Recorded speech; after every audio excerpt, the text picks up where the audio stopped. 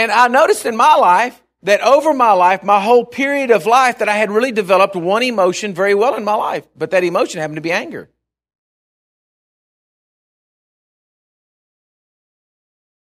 I related everything in an angry way to everything. That was the development I'd done of my emotional skills. Anger. Compassion, love, mercy, all those. I didn't know anything about them. I knew anger. Y'all with me?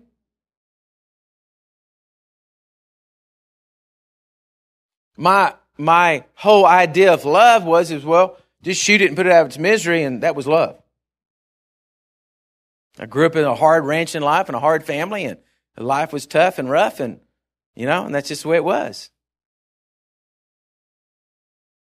But it's only when we start recognizing what's deficient in us. It's only when we start asking for the helper, the Holy Spirit, to come into our life and say, Holy Spirit, I need you to help me here. Folks, it isn't like God doesn't know it's in you. You're not hiding nothing. It's not like, well, we don't want to pray about that. Don't say anything. He's going to know. He already knows. He made you. He created you. He knows everything that's going on in your life. He knows why you're like you are.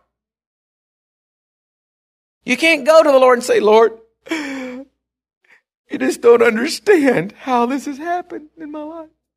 You can't do that. He already understands. He already knows. He knows everything. He understands it totally. He just wants you to have a Pentecostal experience by saying, Holy Spirit, come and help me in my life. I mean, well, let's get down into really what Pentecost means. Comes the time that we have to recognize the Holy Spirit in life and say, Holy Spirit, I gotta have your, I need a helper. We all need a coach to help us through life. We need somebody that's smart and can think and can talk and say, hey, don't, but as long as you won't call evil evil, he's not going to work. He said he wants us to be simple, innocent. To be able to go to God and say, God, you know, this doesn't seem to be profiting me much doing this. Uh, is there something wrong with my life? Do I need to change? What an honest prayer. What an honest prayer is to go to God and say, look, God, I, I, this is the way I, this is the way my mother did, this is the way my, my grandmother did, this is the way my, you know, that's the way it's always been done in our family. And we always, is there something wrong, Lord? Is this not right? Well, if not, what would you show me? Honestly say something like that. Honestly pray something like that. Whoo! Then the Spirit of God's going to come into your life. He's going to come in there. He's going to tap on the door of your heart. He's going to begin to talk to you. He's going to begin to show you things. You're like, really? I didn't know. I, thanks, Holy Spirit. Now, how do I, how do I have the strength to not do that again? Well, look, you need to change this. You need all to. Really? Okay. Well, oh yeah. Stop doing that. Stop doing this. Oh, do this, do that. Oh, okay. Now, and all of a sudden things start changing. But as long as we live a life, we say, well, whoa, I don't know about that Holy Spirit. I mean, I've been around some crazy Pentecostals and I don't want to go with those. Oh, don't let me get around them. I don't want to go like there, Lord.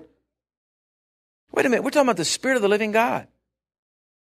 What are you going to do? Get to heaven and say, well, listen, God, I'll talk to you in Jesus, but I'll keep the Holy Ghost away from me. scares me. What? What? You can't, you, you know, you don't, you get the whole package. Well, I don't, yeah, you may have been taught wrong. You may have seen things wrong. You, people may have done things that freaked you out and whatever. And that's, but that's not meaning that that's the way it all is. We got to know what the truth is. And we got to walk in truth, church. And you're not going to make it. The Bible says in the last days that even the very elect would be deceived by the de- deceptions that go on in the world.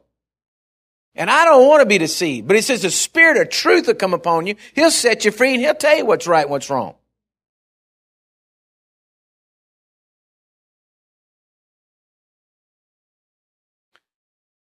Oh, by the way, the world didn't come to an end last night. We're here. I guess he was wrong. He didn't hear the spirit of truth. I could have told him right off the bat he was wrong. The Bible says, uh, yes, read your Bible. The Bible says right there, no man knows when the time's coming, not even Jesus.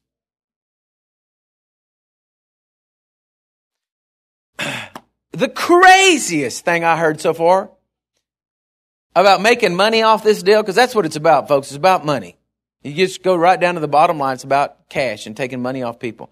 Is that that, that, that groups of people set up websites stating that if you thought you were going to be gone for fourteen ninety five, that they would take care of your dogs and cats while you were, you know, since you're going to be gone. So I mean, I don't know if this is the atheist convention got together and came up with this, or what the you know what the deal was. I don't know how they came up with this, but people were sitting on fourteen ninety five take care of the dogs and cats. Listen, I'm out of here on the first boatload, and I ain't worried about my dogs and cats. They can fend for themselves and sort it out themselves.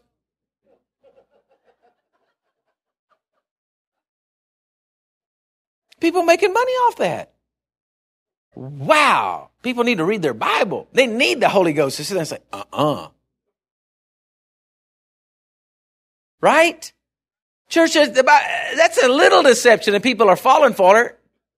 You telling me that if, if Jesus said that even the elect would be deceived, it's going to be such a, such a, you know, uh, events taking place that are, that are so deceptive?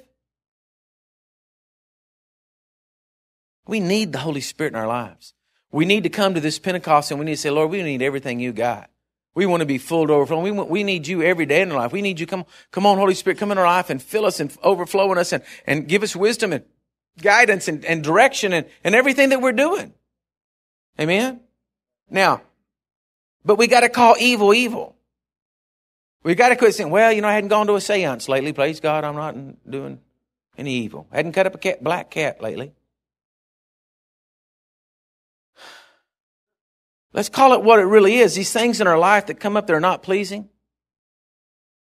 How do you know it's listen? Don't not not that it's not pleasing to your denomination. I'm talking about it's not pleasing to the to, to doesn't line up with the Word of God, and it's not pleasing you. Jesus, listen. If you wouldn't do it in front of Jesus, don't do it. I love that. What would Jesus do? You know, when that was a popular thing. Ever had a bracelet to what would Jesus? Well, if listen, if you wouldn't have Jesus over your house and do it in front of me, don't do it. Look at the person beside you say, That's good.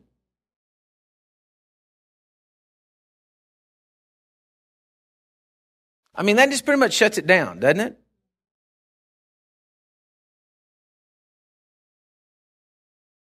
There's been a few times in, in a, like a fit of anger that I've tried to, uh, to say that the Lord would have been with me on it. But when things simmered down, I really did know I was wrong. Y'all with me? Okay? So, let me show you something. Go to the book, go to the, the book of Isaiah chapter 59. Isaiah 59, 19. Y'all stick with me on this for a little bit.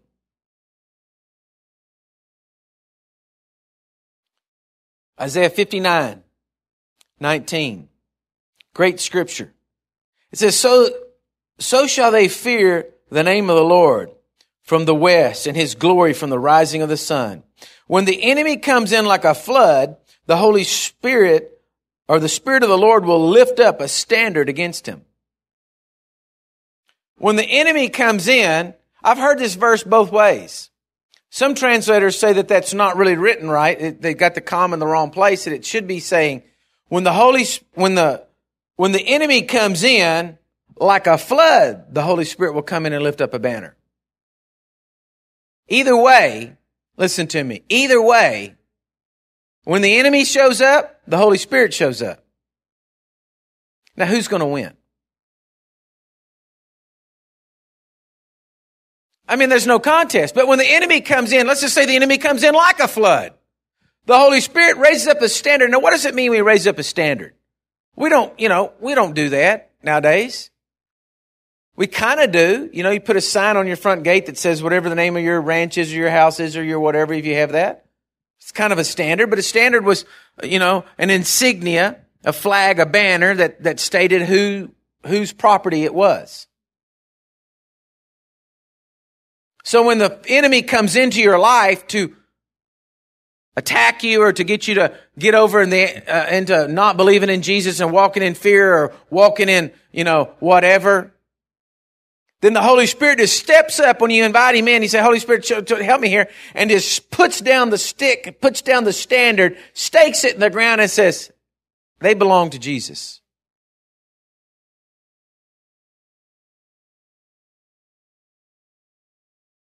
They belong to Jesus. And then that's it. That's the end of it. There's no more fight. There's no more wrestle. There's no more uh, talk. There's no, the enemy's not going to say, "Well, yeah, no, no, no." He's already stuck the standard down and said, "No, this ground, this ground belongs to the King of Kings. The kingdom of God is here." So, wait a minute. Now, that's the kind of benefits we get all the time, but we're scared of the Holy Spirit? That's the kind of benefits he's offering us, but uh, doctrine, church doctrine has taught us, well, listen, you know, that's what the, that's what the crazy church does down the street. We don't do that. Hold on now. I don't know about y'all, but I like to win.